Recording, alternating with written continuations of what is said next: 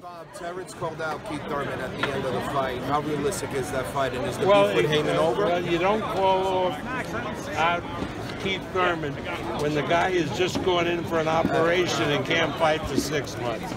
I mean, you know, Keith Thurman's an excellent fighter.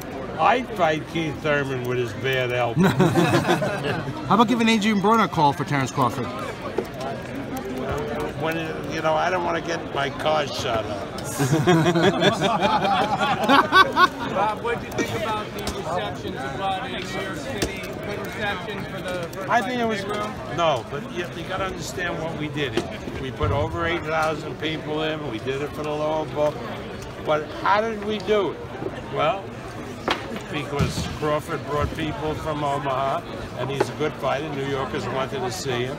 The Peruvian kid that got knocked out in two rounds by Beltran sold over a thousand tickets. The guy from I didn't know there was a Uzbekistan community here in Brooklyn. 200 of them came and bought tickets. This is New York. So when you do a fight show in New York, you bring people. Shakur from New Jersey, this kid is going to be a star. Lopez, you know, comes. He comes with a lot of people.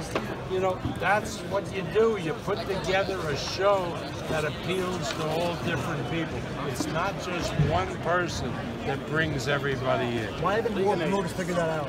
I don't know because that, why? Because I don't. Maybe they're too old. I don't know.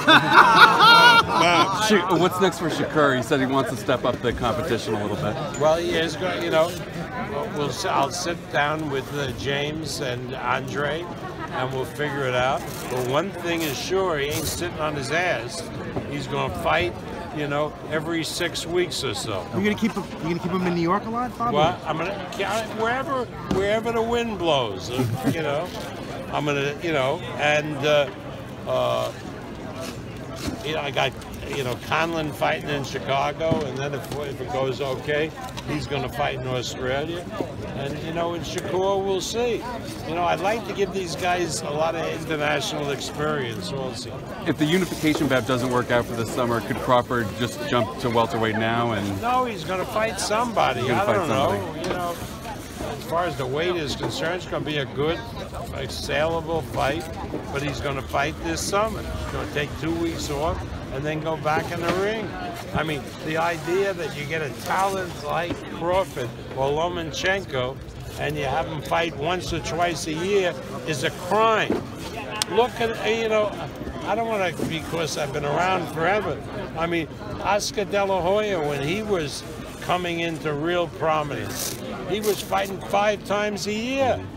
You know, HBO, he was fighting pay per view, he was fighting all the time. That's what they got to do.